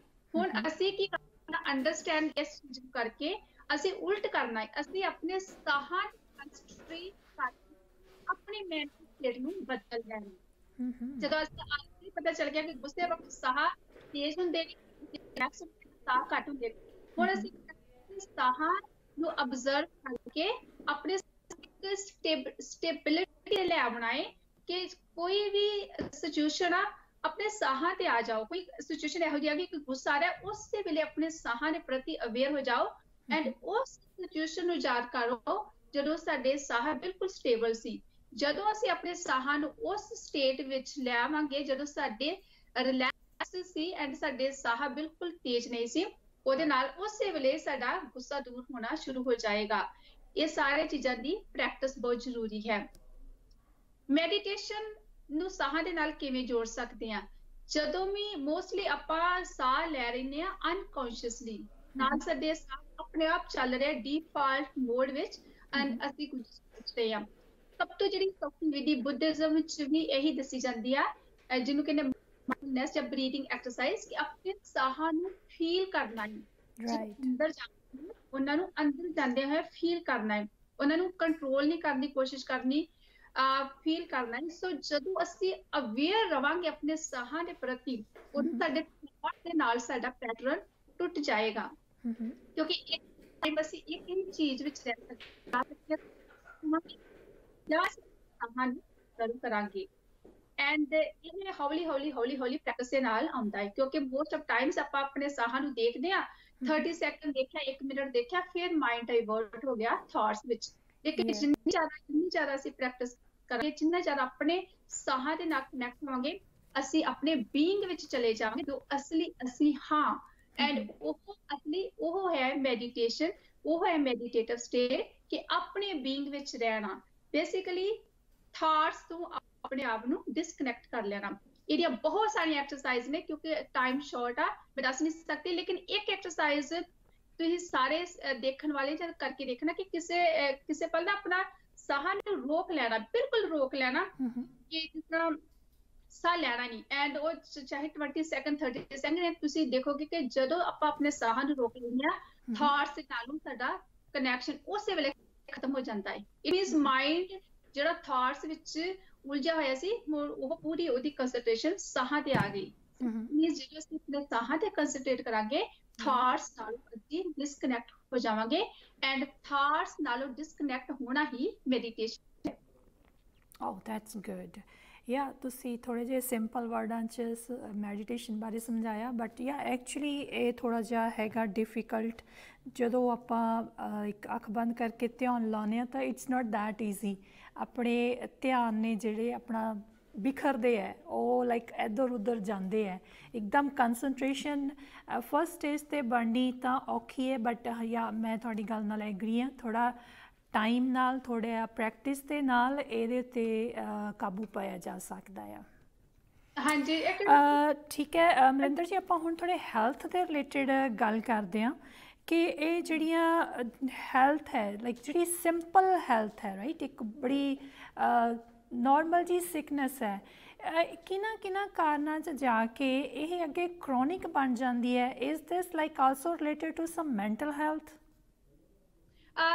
ਨਹੀਂ ਮੈਂਟਲ ਹੈਲਥ ਦੇ ਨਾਲ ਸਿੱਧਾ ਤਾਂ ਰਿਲੇਸ਼ਨਸ਼ਿਪ ਨਹੀਂ ਆ ਪਰ ਇਹ ਆ ਕਿ ਮੈਂਟਲ ਹੈਲਥ 'ਚ ਪਹਿਲਾਂ ਹੀ ਆਲਰੇਡੀ ਮੈਂਟਲ ਹੈਲਥ ਇਸ਼ੂਜ਼ ਨੇ। ਤਾਂ. ਉਹ ਇਨਸਾਨ ਨੂੰ ਜਿਹੜਾ ਕਿਉਂਕਿ ਉਹਦੀ ਇਮਿਊਨਿਟੀ ਬਹੁਤ ਲੋ ਹੋ ਚੁੱਕੀ ਆ ਉਹ ਇਨਸਾਨ ਨੂੰ ਕੋਈ ਵੀ ਸਿਕਨੈਸ ਬਹੁਤ ਜਲਦੀ ਉਹਦੇ ਤੇ ਇਫੈਕਟ ਕਰ ਲਏਗੀ ਲੇਕਿਨ. ਛੋਟੇ ਛੋਟੇ ਜਿਹੜੇ ਸਾਡੀ ਸਿਕਨੈਸ ਆ ਕਰੋਨਾ ਵਾਲੀ ਐਗਜ਼ਾਮਪਲ ਲੈ ਲਓ ਕਿ ਕਰੋਨਾ ਜਿਸ ਤਰ੍ਹਾਂ ਜਿਹੜੇ ਵੀ ਸਿੰਪਟਮਸ ਨੇ ਕਿਹੜੇ ਲੋਕ ਜ਼ਿਆਦਾ ਅਫੈਕਟ ਹੋ ਰਹੇ ਨੇ ਜਿਨ੍ਹਾਂ ਦੀ ਇਮਿਊਨਿਟੀ ਲੋ ਹੈ ਜਿਨ੍ਹਾਂ ਦੀ ਇਮਿਊਨਿਟੀ ਸਟਰੋਂਗ ਹੈ ਉਹਨਾਂ ਦੇ ਕਈ ਕਈਆਂ ਦੇ ਸਿੰਪਟਮਸ 2 ਜਾਂ 3 ਦਿਨ ਚ ਚਲੇ ਜਾਂਦੇ ਆ ਲੇਕਿਨ ਜਿਨ੍ਹਾਂ ਦੀ ਇਮਿਊਨਿਟੀ ਲੋ ਹੈ ਉਹ ਇਸ ਦੇ ਨਾਲ ਲੜ ਨਹੀਂ ਪਾਉਂਦੇ। ਸੋ ਇਮਿਊਨਿਟੀ ਸਾਡੀ ਕਦੋਂ ਲੋ ਹੁੰਦੀ ਆ? ਜਾਂ ਤੇ ਆਲਰੇਡੀ ਸਾਨੂੰ ਅਸੀਂ ਡਿਪਰੈਸਡ ਆ ਆਲਰੇਡੀ ਐਂਸ਼ੀਅਸ ਬਹੁਤ ਰਹਿੰਦੇ ਆ ਆਲਰੇਡੀ ਫੀਅਰ ਚ ਬਹੁਤ ਰਹਿੰਦੇ ਆ ਜਿਹੜੀ ਆਪਾਂ ਡਿਸਕਸ ਕਰ ਚੁੱਕੇ ਆ। ਸਾਡਾ ਜਿਹੜਾ ਖਾਣਾ ਪੀਣਾ ਬੈਡ ਉਹਦੇ ਨਾਲ ਸਾਡੀ ਇਮਿਊਨਿਟੀ ਲੋ ਹੋ ਜਾਂਦੀ ਆ। ਸਾਡੀਆਂ ਥਾਟਸ ਥਾਟਸ ਤੇ ਮੈਂ ਬਹੁਤ ਜ਼ਿਆਦਾ ਇੰਟਰਸਟਡ ਆ ਕਿਉਂਕਿ ਥਾਟਸ ਇੱਕ ਇਹੋ ਜਿਹੀ ਚੀਜ਼ ਆ ਕਿ ਉਹ ਸਾਡੀ ਡਿਜ਼ੀਜ਼ ਨੂੰ ਵੀ ਕਿਉਰ ਕਰ ਸਕਦੇ ਆ ਸਿਰਫ ਅਸੀਂ ਆਪਣੇ ਥਾਟਸ ਦੇ ਨਾਲ। ਐਂਡ ਥਾਟਸ ਐਸੀ ਚੀਜ਼ ਆ ਕਿ ਇੱਕ ਚੰਗਾ ਭਲਾ ਬੰਦਾ ਜੇ ਉਹਦੇ ਚ ਉਹਦੇ ਅੰਦਰ ਨੈਗੇਟਿਵ ਥਾਟਸ ਆ ਗਿਆ ਨਾ ਤੇ ਉਹ ਵੀ ਆਪਣੇ ਜੋ ਹੈ ਛੋਟੀ ਜਿਹੀ ਚੀਜ਼ ਨਾਲ ਵੀ ਨਹੀਂ ਲੜ ਪਾਏਗਾ। ਸੋ ਥਾਟਸ ਕੰਮ ਕਰਨਾ ਆਪਣੇ ਫੂਡ ਤੇ ਕੰਮ ਕਰਨਾ ਹੈ। ਤਿੰਨ ਚੀਜ਼ਾਂ ਤੇ ਜਦੋਂ ਅਸੀਂ ਬੈਲੈਂਸ ਕ੍ਰੀਏਟ ਕਰ ਲਾਂਗੇ ਬਾਡੀ ਮਾਈਂਡ ਐਂਡ ਸੋਲ ਜਦੋਂ ਇਹ ਤਿੰਨ ਚੀਜ਼ਾਂ ਬੈਲੈਂਸ ਹੋ ਜਾਣਗੀਆਂ ਫਿਰ ਇਹ ਜਿਹੜਾ ਸਾਡਾ ਹੈਲਦੀ ਲਾਈਫ ਸਟਾਈਲ ਇੱਕ ਨਾਰਮਲ ਬਣ ਜਾਏਗਾ। ਸੋ ਬਾਡੀ ਤੇ ਅਗੇਨ ਆਪਾਂ ਕੀ ਖਾ ਰਹੇ ਆ ਉਹ ਦੇਖਣਾ ਪੈਣਾ ਐਕਸਰਸਾਈਜ਼ ਯੋਗਾ ਜੋ ਵੀ ਹੈ। ਜਦ ਮਾਈਂਡ ਦੀ ਗੱਲ ਕਰੀਏ ਕੀ ਸੋਚ ਰਹੇ ਆ ਕੀ ਸਾਡਾ ਮਾਈਂਡਸੈਟ ਆ ਕਿਸ ਤਰ੍ਹਾਂ ਦੀ ਇੰਟੈਂਸ਼ਨ ਆ ਦੂਸਰਿਆਂ ਬਾਰੇ ਅਸੀਂ ਕੀ ਸੋਚਦੇ ਆ ਆਪਣੇ ਬਾਰੇ ਕੀ ਸੋਚਦੇ ਆ। ਐਂਡ ਸੋਲ ਆਫ ਕੋਰਸ ਆਪਾਂ ਕਿੰਨਾ ਕੁ ਜਿਹੜਾ ਹੈ ਧਿਆਨ ਨੂੰ ਅੰਡਰਸਟੈਂਡ ਕਰਦੇ ਆ ਐਂਡ ਮੈਡੀਟੇਟਿਵ ਸਟੇਟ ਵਿੱਚ ਰਹਿੰਦੇ ਆ। ਜਦੋਂ ਇਹ ਤਿੰਨਾਂ 'ਚ ਬੈਲੈਂਸ ਹੋ ਜਾਏਗਾ ਇੱਕ ਵਰਡ ਆ ਫਾਈਵ ਐਲੀਮੈਂਟ ਨੂੰ ਬੈਲੈਂਸ ਕਰਨਾ। ਪੰਜ ਭੂਤਾਂ ਸ਼ੁੱਧੀ ਸਾਰੀ ਸਾਡੀ ਲਾਈਫ ਜਿਹੜੀ ਆ ਸਾਡੀ ਜਿਹੜੀ ਐਗਜ਼ਿਸਟੈਂਸ ਆ ਪੰਜ ਤੱਤਾਂ ਤੇ ਦੇ ਬੈਲੈਂਸ ਦੇ ਨਾਲ ਚੱਲ ਰਹੀ ਆ। ਜਦੋਂ ਇੰਬੈਲੈਂਸ ਹੋ ਜਾਂਦੀ ਬਾਹਰ ਹੋ ਜਾਂਦੀ ਆ ਇਹਨਾਂ ਨੂੰ ਬੈਲੈਂਸ ਕਰ ਲਾਂਗੇ। ਬੈਲੈਂਸ ਹੁਣ ਮੈਂ ਇਸ ਟੌਪਿਕ ਨੂੰ ਅਸੀਂ ਫਿਰ ਕਿਸੇ ਦਿਨ ਕਵਰ ਕਰਾਂਗੇ। ਇਸ ਬਿਗ ਟੌਪਿਕ ਲੇਕਿਨ ਵੈਰੀ ਟੌਪਿਕ ਲੇਕਿਨ ਇਹਨਾਂ ਨੂੰ ਬੈਲੈਂਸ ਕਰਕੇ ਅਸੀਂ ਫਿਜ਼ੀਕਲੀ ਐਂਡ ਮੈਂਟਲੀ ਠੀਕ ਰਹਿ ਸਕਦੇ ਹਾਂ। ਹਮ ਓਕੇ ਯਾ ਇਹ ਕਾਫੀ ਵਧੀਆ ਤੁਹਾਡਾ ਟਿਪ ਸੀਗਾ ਜਿਹੜਾ ਫਾਈਵ ਐਲੀਮੈਂਟਸ ਨੂੰ ਲੈ ਕੇ ਤੁਸੀਂ ਜਿਹੜੇ ਸਾਡੀ ਲਾਈਫ ਦੇ ਆਲਮੋਸਟ 3 ਪਿਲਰਸ ਨੇ ਉਹਨਾਂ ਨੂੰ ਐਕਸਪਲੇਨ ਕਰਨਾ। ਤੇ ਤੁਸੀਂ ਮੈਨੂੰ ਜੋ ਮਲਿੰਦਰ, ਇਹ ਦੱਸੋ ਕਿ ਸਮ ਟਾਈਮ ਐਦਾਂ ਕਿਉਂ ਲੱਗਦਾ ਆ ਕਿ ਜਿਹੜੀ ਸਾਡੀ ਕ੍ਰੀਏਟੀਵਿਟੀ ਆ, ਉਹ ਲਾਈਕ ਖਤਮ ਹੁੰਦੀ ਜਾ ਰਹੀ ਆ ਲੋਕਾਂ ਦੇ ਵਿੱਚ। ਟਾਈਮ ਵੇਸਟੇਜ ਹੋਰ ਹੀ ਗੱਲਾਂ ਵੱਲ ਨੂੰ ਹੋਈ ਜਾਂਦਾ ਆ। ਇਹਦੇ ਪਿੱਛੇ ਕੀ ਰੀਜ਼ਨ ਆ? ਕੋਈ ਇਹਦੇ ਪਿੱਛੇ ਤੁਸੀਂ ਦੱਸ ਸਕਦੇ ਕਿ ਐਂਜ਼ਾਇਟੀ ਜਾਂ ਮੈਂਟਲ ਹੈਲਥ ਇਧਰ ਵੀ ਕੁਝ ਮੈਡੀਟੇਸ਼ਨ ਹੈਲਪ ਕਰੂਗੀ? ਹਾਂਜੀ ਰਵਿੰਦਰ ਜਿਸ ਸਮੇਂ ਕਿ ਮੈਡੀਟੇਸ਼ਨ ਦਾ ਬੇਸ ਆ ਸਾਡੇ ਐਗਜ਼ਿਸਟੈਂਸ ਦਾ। ਸਾਡੀ ਕ੍ਰੀਏਟਿਵਿਟੀ ਮੈਨੂੰ ਇਸ ਤਰ੍ਹਾਂ ਲੱਗਦਾ ਕਿ ਉਦੋਂ ਖਤਮ ਹੁੰਦੀ ਹੈ ਜਦੋਂ ਅਸੀਂ ਆਪਣੀ ਯੂਨੀਕਨੈਸ ਨੂੰ ਪਛਾਣ ਨਹੀਂ ਪਾਉਂਦੇ। ਗੋਡ ਨੇ ਨਹੀਂ ਕ੍ਰੀਏਚਰ ਬਣਾਇਆ ਸਾਰਿਆਂ ਨੂੰ ਯੂਨੀਕ ਬਣਾਇਆ ਹੈ। ਪਰ ਅਸੀਂ ਕੀ ਕਰਦੇ ਅਸੀਂ ਕੰਪੀਟੀਸ਼ਨ ਵਿੱਚ ਚਲੇ ਜਾਂਦੇ ਆ ਕਾਪੀ ਕੈਟਸ ਬਣਨਾ ਸ਼ੁਰੂ ਹੋ ਜਾਂਦੇ ਆ ਆਪਣੇ ਅੰਦਰ ਸਾਡੇ ਅੰਦਰ ਜੋ ਯੂਨੀਕ ਟੈਲੈਂਟਸ ਨੇ ਉਹਨਾਂ ਨੂੰ ਉਹਨਾਂ ਤੇ ਕੰਮ ਕਰਨ ਦੀ ਬਜਾਏ ਅਸੀਂ ਦੂਸਰਿਆਂ ਦੀ ਕਾਪੀ ਕਰਕੇ ਉਹਨਾਂ ਇੱਕ ਰੇਸ ਵਿੱਚ ਚਲੇ ਜਾਂਦੇ ਆ ਤਾਂ ਕਿ ਉਹਨਾਂ ਤੋਂ ਅੱਗੇ ਨਿਕਲ ਜਾਈਏ। ਐਂਡ ਕੀ ਹੁੰਦਾ ਹੈ ਸਾਨੂੰ ਐਂਗਜ਼ਾਇਟੀ ਹੁੰਦੀ ਹੈ ਵਰੀ ਹੁੰਦੀ ਹੈ ਕਦੀ ਗੋਲਸ ਅਚੀਵ ਹੋ ਜਾਂਦੇ ਨੇ ਕਦੀ ਗੋਲਸ ਨਹੀਂ ਅਚੀਵ ਹੁੰਦੇ। 7 ਬਿਲੀਅਨ ਪੀਪਲ ਹੈ ਇਸ ਦੁਨੀਆ 'ਚ। ਕੀ ਅਸੀਂ ਕਿੰਨਿਆਂ ਦੇ ਨਾਲ ਆਪਣਾ ਕੰਪੀਟੀਸ਼ਨ ਕਰਾਂਗੇ? ਇੱਕ ਨਾਲ ਦੋ ਨਾਲ ਤਿੰਨ ਨਾਲ। ਹਰ ਵਾਰ ਕੋਈ ਨਾ ਕੋਈ ਸਾਡੇ ਤੋਂ ਅੱਗੇ ਵੀ ਆ ਤੇ ਕੋਈ ਨਾ ਕੋਈ ਸਾਡੇ ਤੋਂ ਪਿੱਛੇ ਵੀ ਆ।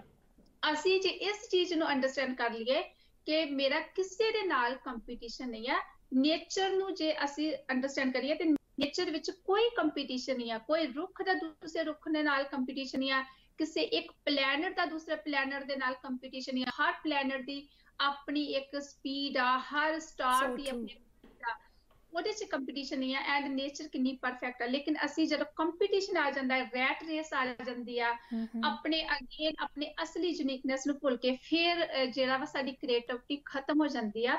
ਐਂਡ ਦੈਨ ਆਪਾਂ ਫਿਰ ਜੋ ਅਸਲੀ ਸਾਨੂੰ ਆਪਣੀ ਕ੍ਰੀਏਟਿਵਿਟੀ ਦੇ ਨਾਲ ਖੁਸ਼ੀ ਮਿਲਣੀ ਆ ਉਹ ਉਹ ਲਾਈਕ ਸਾਨੂੰ ਮਿਲਦੀ ਨਹੀਂ ਹੈਗੀ। ਰਾਈਟ ਸੋ ਤੁਹਾਡੇ ਕਹਿਣ ਦਾ ਮਤਲਬ ਆ ਕਿ ਲਾਈਕ ਜੇ ਕਿਸੇ ਦੀ ਗੱਲ ਲਾ ਲਿਆ ਤੇ ਆਪਣੀ ਥੱਪੜ ਮਾਰ ਕੇ ਨਾ ਕਰੋ।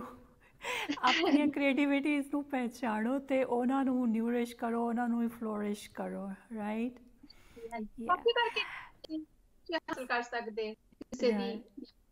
ਯਾ ਅੱਛਾ ਇੱਕ ਟਰਮ ਹੋਰ ਬੜੀ ਯੂਜ਼ ਹੁੰਦੀ ਆ ਮਲਿੰਦਰ ਜੀ ਕੋਈ ਯੋਗੀ ਤੇ ਇੱਕ ਭੋਗੀ। ਇਹਨਾਂ ਦੋਨਾਂ ਟਰਮਸ ਦਾ ਆਪਣੇ ਮੈਡੀਟੇਸ਼ਨ ਤੇ ਬਰੀਥਿੰਗ ਦੇ ਵਿੱਚ ਕੀ ਰੋਲ ਆ?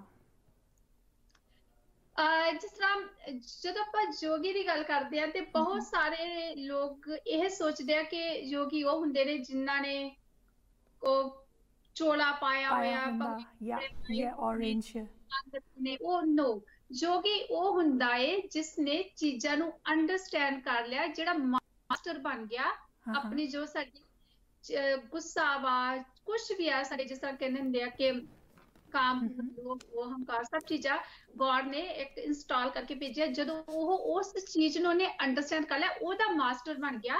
ਉਹ ਹੈ ਜੋਗੀ ਨਾ ਦਾ ਉਹ ਬਿਮਾਰ ਹੁੰਦਾ ਏ ਨਾ ਹੀ। ਉਹਨੂੰ ਕੋਈ ਮੈਂਟਲ ਹੈਲਥ ਇਸ਼ੂ ਹੁੰਦੇ ਨੇ ਨਾ ਹੀ ਹੁੰਦਾ ਹੈ ਨਾ ਹੀ ਸੁਸਾਈਡਲ ਥਾਟਸ ਹੁੰਦੇ ਕਿਉਂਕਿ ਉਹ ਮਾਸਟਰ ਹੈ।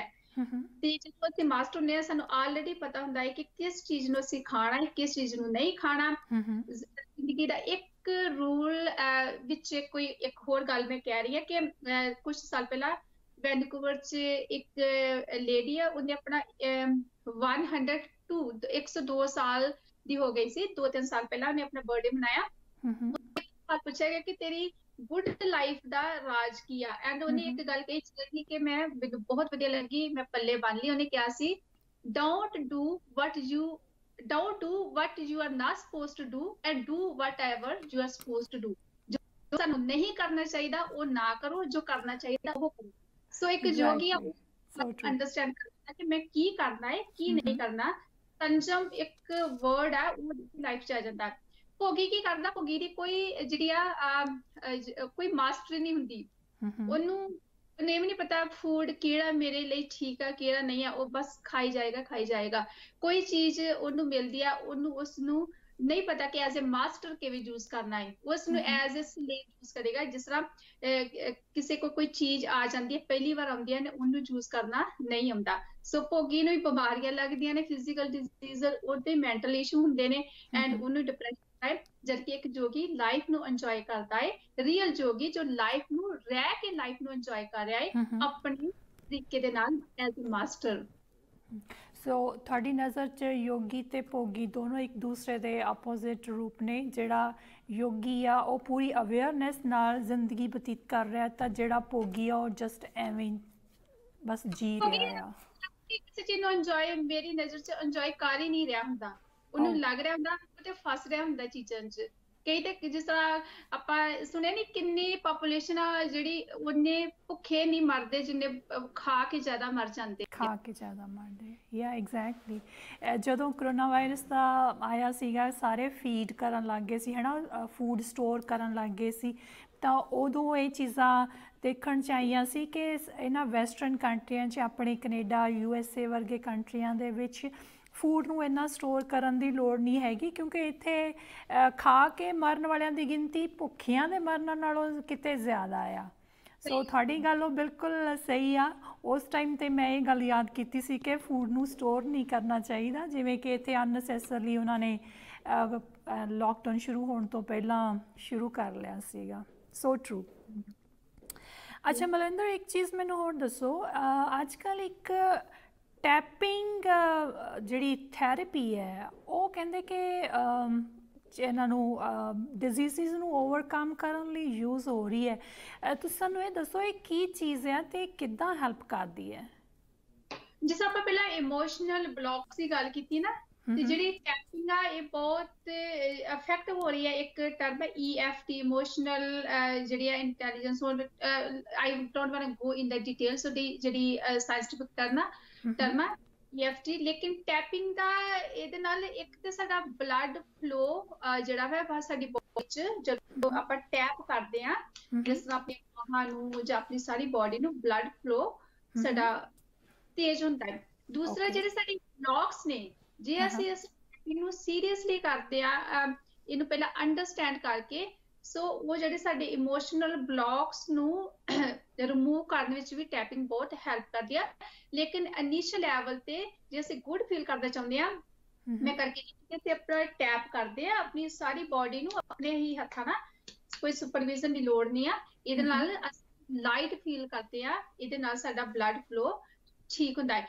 ਲੇਕਿਨ ਜੇ ਅਸੀਂ ਸਿੱਖ ਕੇ ਟੈਪਿੰਗ ਕਰਦੇ ਤਾਂ ਸਾਡੀ ਬਾਡੀ 'ਚ ਕੁਝ ਪੁਆਇੰਟਸ ਹੁੰਦੇ ਨੇ ਜਿਸ ਤਰ੍ਹਾਂ ਇੱਥੇ ਇੱਕ ਸਾਡਾ ਪੁਆਇੰਟ ਆ ਜਿਹੜਾ ਇਹਨੂੰ ਥਰਡ ਆਈ ਕਹਿੰਦੇ ਆ ਸਵਰ ਵਿਗਿਆਨੀ ਮੈਂ ਤੁਹਾਨੂੰ ਥੋੜਾ ਜਿਹਾ ਦੱਸਾਂਗੀ ਕਿ ਇੱਥੇ ਜਿਹੜਾ ਥਰਡ ਆਈ ਥਰਡ ਆਈ ਸਾਰੇ ਮੈਡੀਟੇਸ਼ਨ ਟੀਚਰ ਕਰਦੇ ਆ ਕਿਉਂ?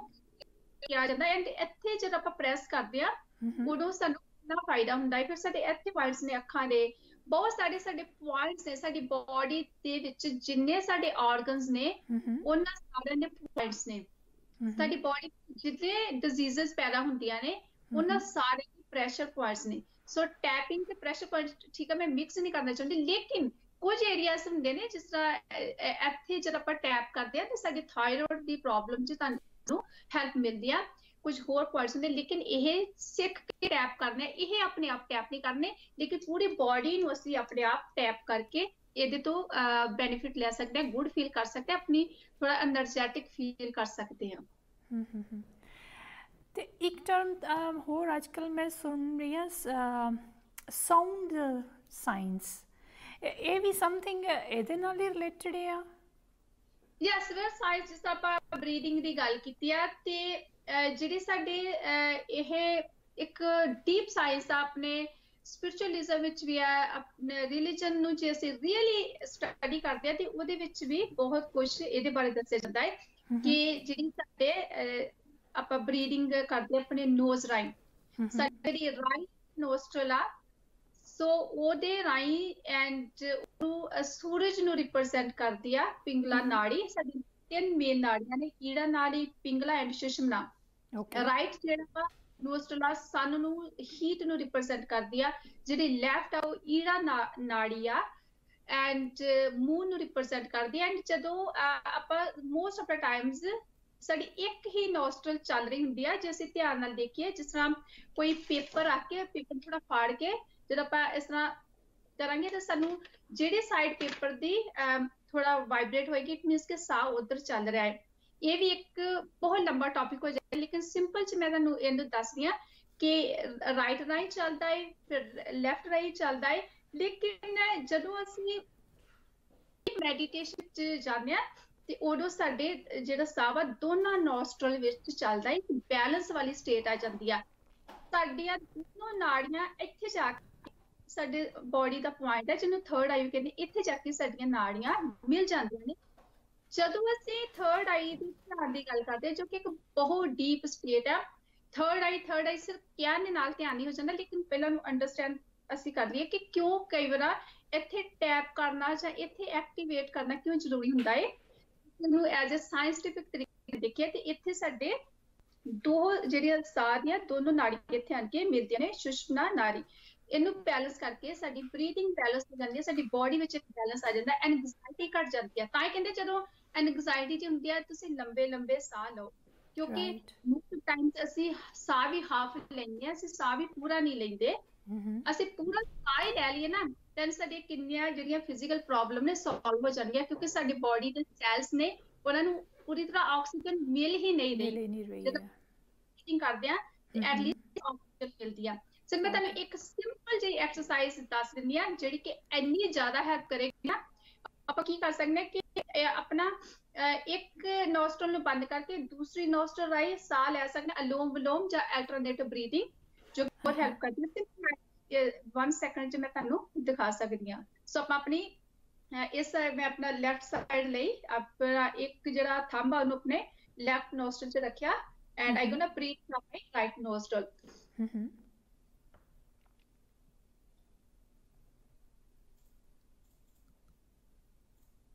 so right nostril ਵਿੱਚ ਬਰੀਥ ਕਰਕੇ ਲੈਫਟ ਵਿੱਚੋਂ ਬਾਹਰ ਕੱਢਿਆ। ਹੁਣ ਲੈਫਟ ਵਿੱਚੋਂ ਬਰੀਥ ਕਰਾਂਗੀ। ਰਾਈਟ ਤੇ ਕਰਤਾ। ਰਾਈਟ ਸੋ ਇਹਦੇ ਨਾਲ ਕੀ ਹੋ ਗਿਆ? ਸਾਡੇ ਬੈਲੈਂਸ ਹੋ ਗਿਆ ਦੋਨੋਂ ਨੋਸਟਰਲ ਦਾ ਐਂਡ ਇਹਦੇ ਨਾਲ ਮੈਂਟਲ ਹੈਲਥ ਜਿਹੜਾ ਉਹ ਕਿਵੇਂ ਹੈਲਪ ਕਰਦਾ ਹੈ?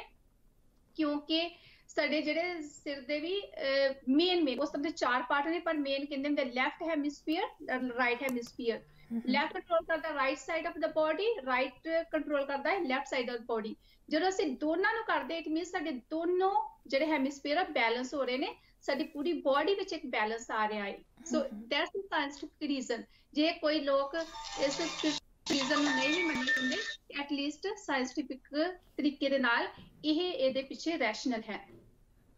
ਰਾਈਟ ਮਲਿੰਦਰ ਜੀ ਤੁਸੀਂ ਟੌਪਿਕ ਤਾਂ ਹੋਰ ਵੀ ਹੈਗੇ ਨੇ ਤੁਹਾਡੇ ਨਾਲ ਗੱਲ ਕਰਨ ਲਈ ਬਟ ਆਪਣੇ ਕੋਲੇ ਟੈਕਨੀਸ਼ੀਅਨ ਵੀ ਇਸ਼ਾਰਾ ਕਰ ਰਹੇ ਨੇ ਟਾਈਮ ਦਾ।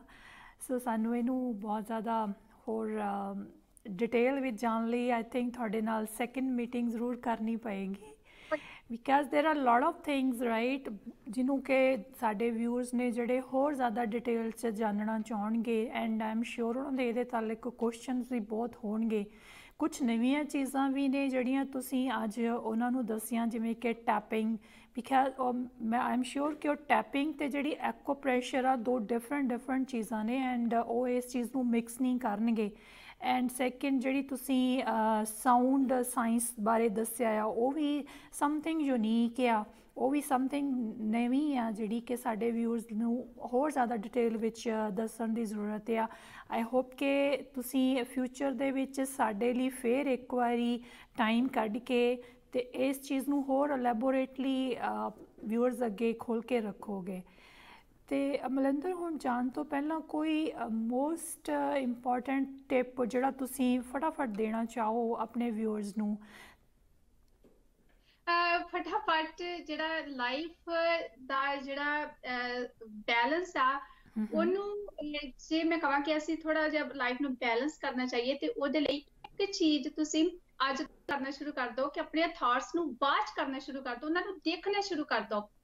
ਥਾਟਸ ਜਿਹੜਾ ਹੈ ਘਟ ਕਰਨਾ ਜਾਂ ਉਸ ਵਾਲੇ ਸਟੈਪਾਂ ਪਹਿਲਾਂ ਦੇਖੋ ਕਿ ਕਿਹੜੀਆਂ ਥਾਟਸ ਚੱਲ ਰਹੀਆਂ ਨੇ।